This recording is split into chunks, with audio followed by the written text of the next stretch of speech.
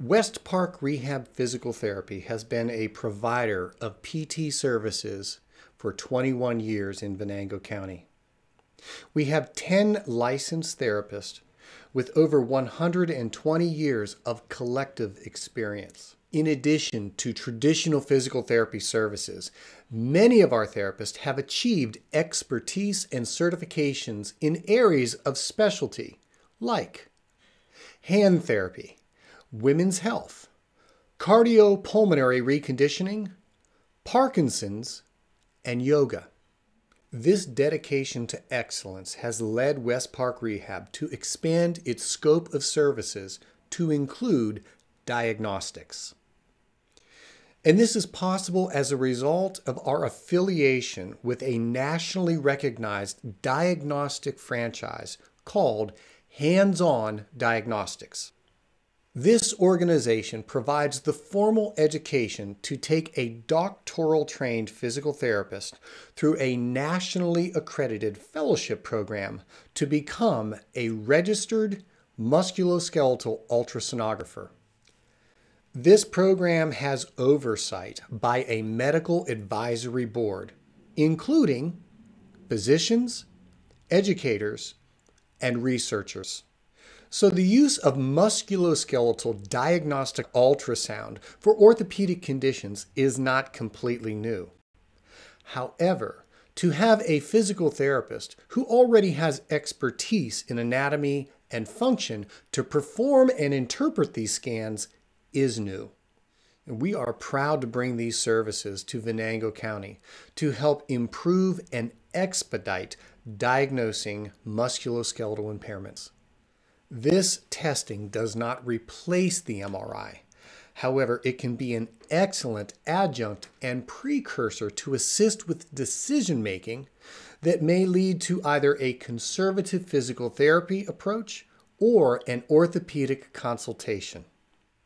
Additionally, we have seen time and time again where the results of the musculoskeletal ultrasound can be used to help expedite approval through the insurance company for an MRI. So I'm hoping that you will give us just a couple more minutes of your time so that we can demonstrate exactly how we perform a musculoskeletal ultrasound, the information that we can derive from it, and how we can use that information to collaboratively manage orthopedic patients. Although we can accurately scan many structures in the lower and upper extremity, for this demonstration, we are going to focus entirely on the shoulder. Now, if you're not familiar with these scans, let me explain that we will be looking at structures in a cross-sectional view as well as a longitudinal view. Additionally, we can look at these structures dynamically. And now we're going to begin with the scan of the shoulder joint. I'm Beth Carr, and I'm a physical therapist at West Park Rehab. I am the Musculoskeletal Ultrasound Fellow. We are going to begin with a scan of the shoulder. And the first view we're going to look at is the long head of the biceps in the short axis view or the transverse plane. So here we have the long head of the biceps tendon sitting inside the intertubercular groove of the humeral head. So what we're looking for in a normal view is the contour of the humeral head to make sure that there's no irregularities that the tendon is sitting directly centralized inside that groove, that the ligaments are over top of the tendon, and that the tendon is nice and bright and what we would call hyperechoic so that there's no deformities. So this is an example of tenosynovitis where we have the black area around the tendon which shows a collection of fluid that is surrounding that tendon. When looking for tendinosis, you would see an enlarged tendon as compared to the contralateral side. When beginning to look for subluxation of the tendon, you would first see the tendon sitting towards the side or above the groove when looking at the still picture on the ultrasound. However, this can also be seen dynamically when we move the arm. This is an example of how we can test dynamically for subluxation of the long head of the biceps, which is difficult to complete with an MRI as you cannot move during that test. We are now going to look at the same structure in the long axis view.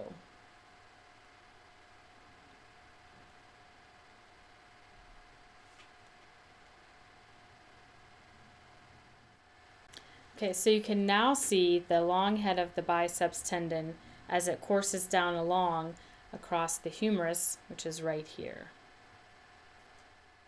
Next, we're going to take a look at the supraspinatus tendon, which is an oblique long axis view.